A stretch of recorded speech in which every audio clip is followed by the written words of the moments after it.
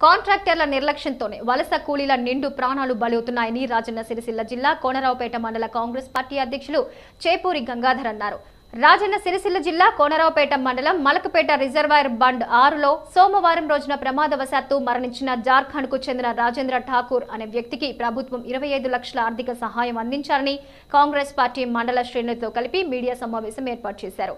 ఈ సందర్భంగా వారు మాట్లాడుతూ ప్రాజెక్టు నిర్మాణానికి వివిధ రాష్ట్రాల నుంచి వచ్చిన వలస కార్మికులకు కనీస రక్షణ సామాగ్రిని అందించడంలో కాంట్రాక్టర్ నిర్లక్ష్య వైఖరిని ప్రవర్తిస్తున్నాడని అందువల్ల అనేక మంది వలస కార్మికులు బలవుతున్నారన్నారు. ప్రాజెక్టులో ప్రాణాలు కోల్పోయిన ప్రతి వలస కార్మికులకు ఇరవై ఐదు లక్షల ఆర్థిక సహాయం అందించాలని సదరు కాంట్రాక్టర్ పై కేసు నమోదు చేసి తగు చర్యలు తీసుకోవాలని కాంగ్రెస్ పార్టీ తరపున డిమాండ్ చేశారు. ఈ కార్యక్రమంలో జిల్లా నాయకులు గోపాల్ ఎంపీటీసీ ప్రవీణ్ యూత్ కాంగ్రెస్ అధ్యక్షుడు రవి కాంగ్రెస్ నాయకులు పాషా దేవరాజు వెంకట్ తదితరులు పాల్గొన్నారు. మల్కపేట రిజర్వాయర్ ఆరవ బండ్ సంబంధించిన సమూహంలో కూలి నాలి చేసుకోవడానికి ఈ ప్రాజెక్టు పనుల మీద జార్ఖండ్ ప్రాంతం నుంచి రాజేందర్ ఠాగూర్ అనేటువంటి యువకుడు అట్లాంటి యువకులు చాలామంది ఈ రాష్ట్రానికి వలసొచ్చి పనిచేసుకొని తన కుటుంబాన్ని పోషించుకునేటువంటి పరిస్థితి. మరి అందులో భాగంగానే మొన్న రోజున ఏదైతే సోమవారం సాయంత్రం ఏడు ఏడు ముప్పై నిమిషాలకు మరి ఇక్కడ ఉన్నటువంటి మిషన్స్ మరి ఆయనకు అనుకోకుండా అంటే ఏదేది అనుకోకుండా అని చెప్పడం జరుగుతుందో. కాంట్రాక్ట్ ఇది. కాంట్రాక్ట్ నిర్లక్ష్యం వల్ల నిండు ప్రాణాలు బలి తీసుకున్నటువంటి విషయం మరి రాజేంద్ర ఠాకూర్ గారిని. మరి ఆ బలి తీసుకున్నటువంటి విషయాన్ని బయట ప్రపంచానికి తెలియకుండా సమాజానికి తెలియకుండా వెంటనే కాంట్రాక్టర్కు సంబంధించినటువంటి వాళ్ళు వెంటనే ఆ డెడ్ బాడీని పోస్ట్ మార్టం ద్వారా చేయించి మరి వాళ్ళ కుటుంబానికి అంతో ఇంతో భయపెట్టి డబ్బులు ఇప్పించి మరి ఆ ప్రాణ విలువ ఏమాత్రం పట్టించుకోకుండా ప్రాణానికి ఇంత విలువ అనే పద్ధతిలో కాంట్రాక్టర్ చాలా సంవత్సరాల నుంచి దాదాపు ఈ ప్రాజెక్టు మొదలైనప్పటి అనేక ప్రాణాలు బలి తీసుకున్నటువంటి మరి విషయం. మరి అందులో భాగంగానే కాంట్రాక్టర్పై కూడా ఇంతవరకు ఎఫ్ఐఆర్ కానీ సంబంధించిన కేసు నమోదు చేయకపోవడం వల్ల తెలంగాణ రాష్ట్ర ప్రభుత్వం మరి ఏదైతే రాష్ట్రం నుంచి ఇతర రాష్ట్రాల నుంచి వచ్చినటువంటి వలస జీవుల మీద ఎంతపాటి ప్రేమ ఉందో అనేటువంటి విషయం మనకు స్పష్టమవుతుంది.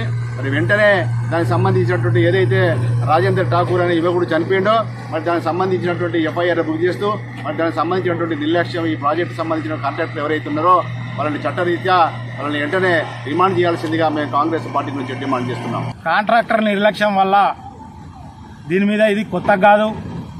ఎన్నో ప్రాణాలు కోల్పోయినటువంటి విషయం.